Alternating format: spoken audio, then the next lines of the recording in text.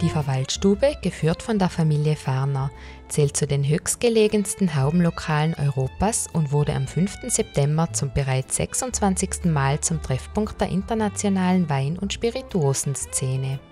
Haube haben wir schon seit 20 Jahren und letztes Jahr haben wir die zweite bekommen und das macht Freude. Das ist äh, gut für mich und gut für die Gäste und, und die, die Leute mögen das. Es ist halt schön.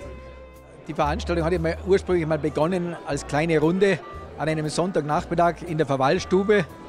Und äh, mittlerweile ist es natürlich immer gewachsen, Jahr für Jahr. Und heute sind wir natürlich stolz, dass wir die gesamte Infrastruktur äh, des Bergrestaurants Galzig nutzen können für unsere Veranstaltung. Über 40 Winzer und Hersteller nutzten diese Bühne, um den rund 640 geladenen Gästen aktuelle Jahrgänge und Neuheiten vorzustellen und von der Qualität ihrer Produkte zu überzeugen. Das Galzig-Event beim Morandel ist das Jahresevent für unseren Weinbaubetrieb.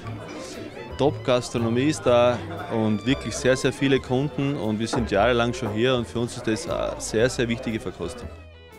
Einfach mal schauen, was gibt es Neues und mit den Mitarbeitern ein paar Weine verkosten, die Weinkarte neu schreiben, ein bisschen neu orientieren, alles ein bisschen probieren und vor allem viele Kollegen treffen.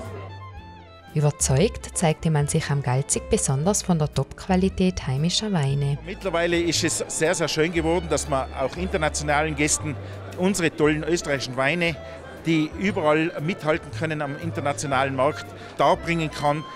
Das Konsumverhalten als auch die Trends rund um den Weingenuss verändern sich permanent. Die Trends gehen beim Weißwein auf jeden Fall.